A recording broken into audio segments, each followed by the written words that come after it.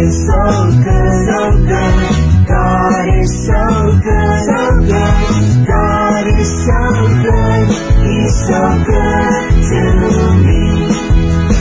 He cares for me, for me. He cares for me, for me. He cares for me, He's so good.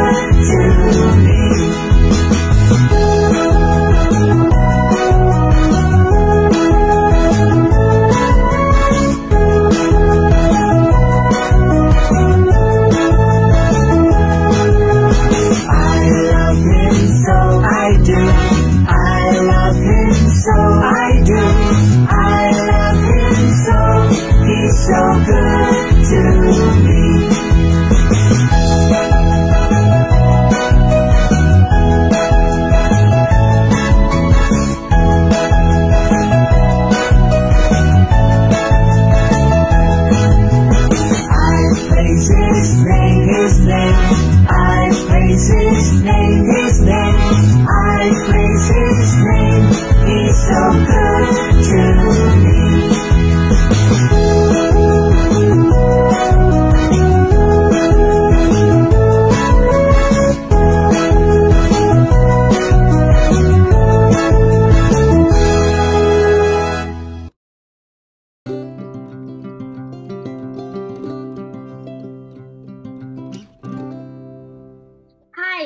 morning. I am Abby Tan from Nusa Praise Kids. This morning I am reading the scriptures from the Bible. It is taken from Genesis chapter 2, verse 15 to 17. And I am reading from the International Children Bible version.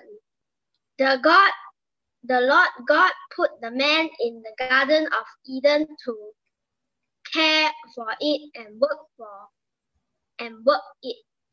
The Lord God commanded him, You may eat the fruit from any tree in the garden, but you must not eat the fruit from the tree which gives the knowledge of good and evil. If you ever eat fruit from that tree, you will die. This is the word from of the Lord. Thank you.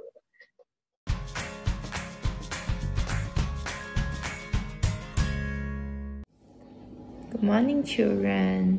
Okay, today we're gonna talk about um, what happened to Adam and Eve when God asked them to take care of the Garden of Eden, but they did not. They did not fulfill what they are called to do. Okay. So remember, God made the God made the world in six days. On day one, God made light. God made sky and water on day two. God made dry lands to appear. God made um, birds and fish. And God made animals. Lastly, God also made man and also woman. Okay, God made all this in six days, and on the seventh day He rested. So He told His uh, His creation right to be fruitful and to multiply, and He also asked Adam specifically right to take care of whatever He has created. Okay, so we have we have to take care of whatever we uh, God has created, right? Because these are all God's creation. Okay, so but what happened?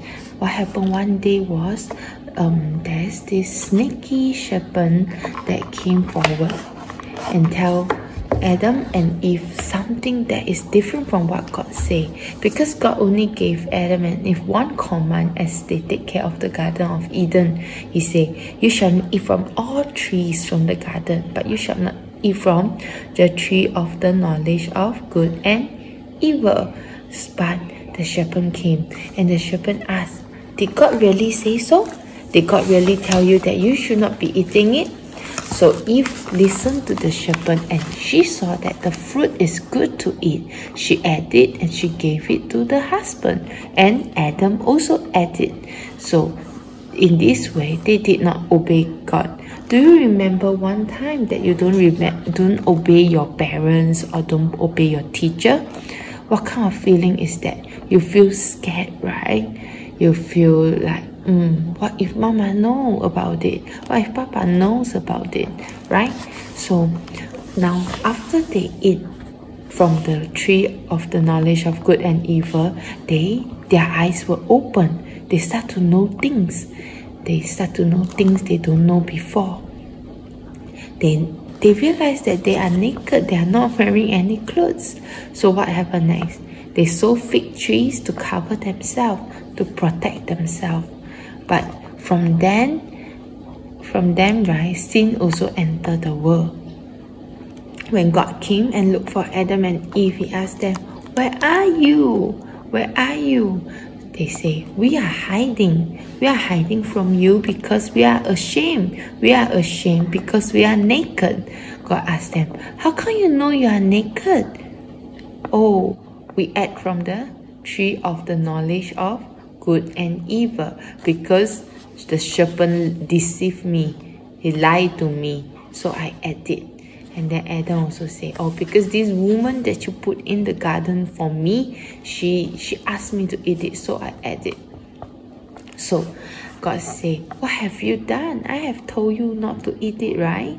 So God have to punish them, right? So God chased them out from the Garden of Eden because they're in the Garden of Eden. There is also the tree of life. Once you eat from the tree of life, you will have eternal life.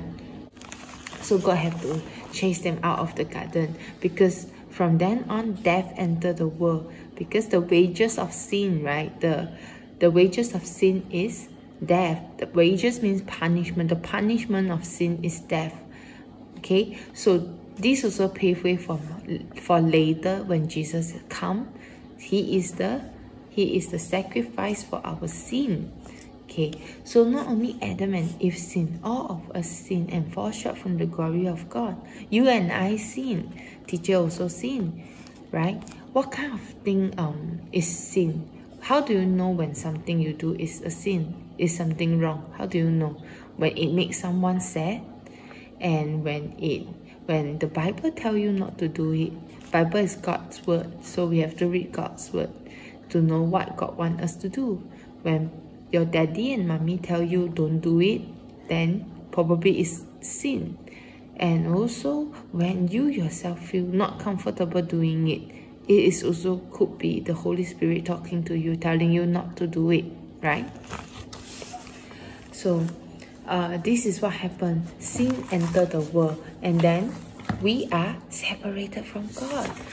Okay, but now it's different because Jesus has already died and he rose again. He rose to heaven. He is our intercessor. He will help us um, to pay for our sins. So we are no longer sinner now. Okay, we have direct access to God.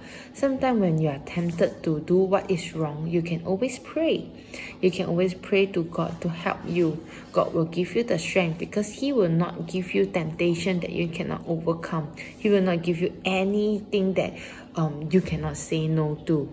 So when you are afraid or when you don't know what to do, you can always pray a simple prayer like this Dear Lord, please help me to know what to do when I am not sure.